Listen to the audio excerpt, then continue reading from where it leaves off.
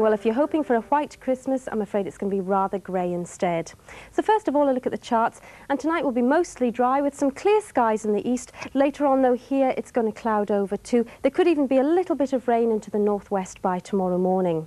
As for temperatures, they'll be fairly cold to start with in central and eastern areas, but picking up there later on in the night as the cloud thickens, staying above freezing along the west coast throughout the night.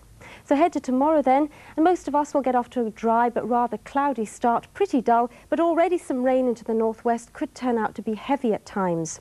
And by the afternoon, that rain's going to spread almost everywhere, although in the east it should be a little bit lighter, and the heavier rain from the northwest spreading to southwest Scotland, slightly better though behind it for the afternoon. As for temperatures, they'll be very mild indeed into double figures, up to a maximum of 11 Celsius, which is 52 Fahrenheit. Unfortunately, though, the wind's still pretty brisk, so watch out for them. As for Boxing Day, it's still looking quite mild too. And that's all from me for tonight. Have a very happy Christmas from all of us at the Weather Centre.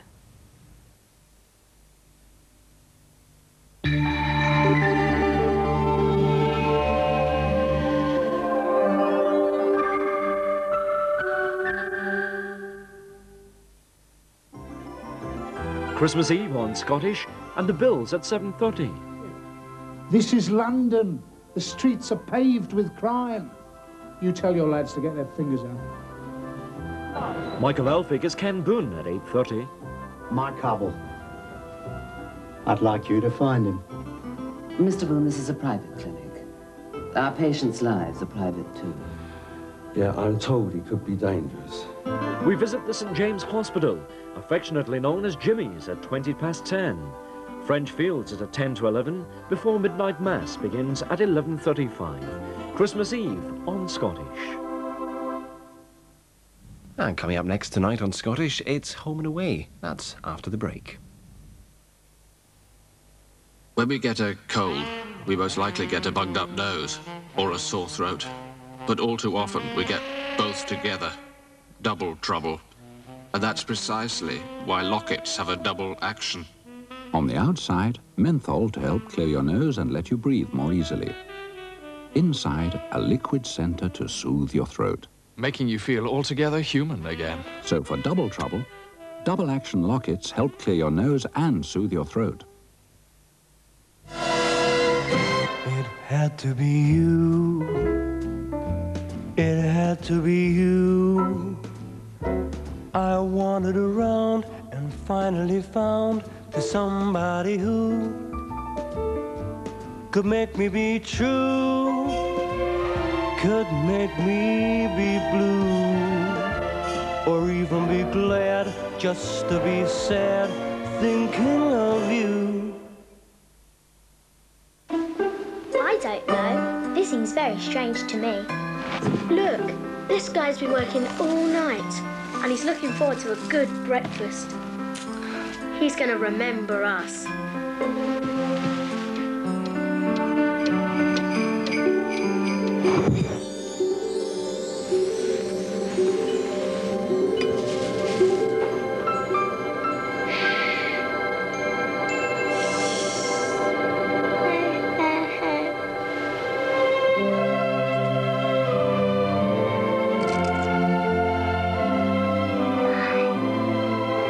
At the Kellogg Company of Great Britain, we take great pride in the quality food products we make and work hard all year to bring our best to you each morning.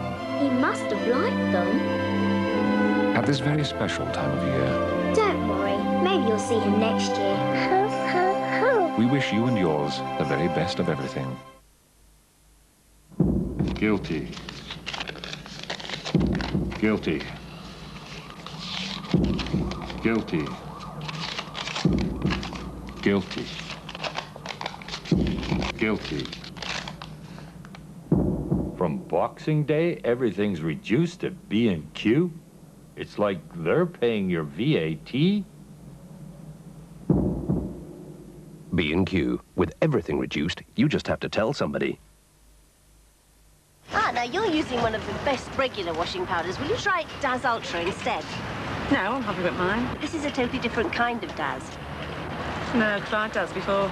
I was dead surprised. And such a small amount of powder, I thought, no chance, it's not going to work. I've got four boys. They were supposed to be playing football, but I think they just roll around in the mud, actually. They come in rotten dirty. I was surprised. It did work. I know they all say this, but it did work. The whites were really bright. They weren't like a chewing gum white, which I say is a dirty looking white. They were really bright.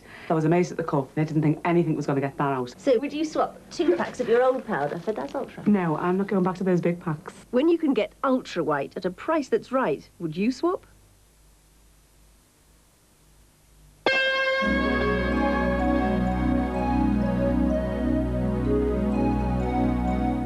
At the landmark once a year sale, absolutely everything is reduced. So buy now. There's never been a better time to pick up a bargain.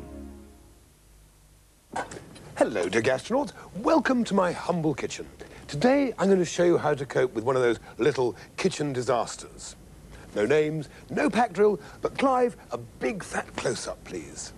No, no, dear boy, not the chips, the chip pan. Got it? Thank you. Anyway, back to me. I can safely reach the knob, so I turn off the heat immediately. I wring out a wet tea towel and place it over the pan and leave it for about 30 minutes. Voila. Now, here's a demonstration which shows you exactly what not to do. Don't throw water onto the flames because the water sinks under the oil, turns to steam, and poof, a recipe for a total disaster. So, remember, the pan should never be more than one-third full of oil, and it should never, ever be left unattended because we don't want to end up as unidentified frying objects, do we, Clive?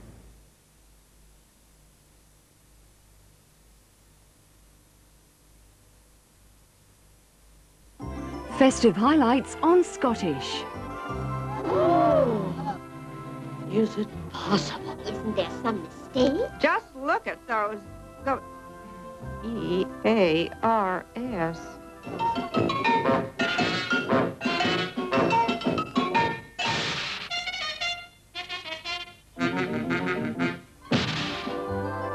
Disney's classic Dumbo, 10 past 1 Sunday afternoon on Scottish.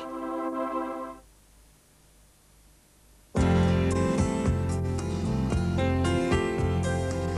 know we belong together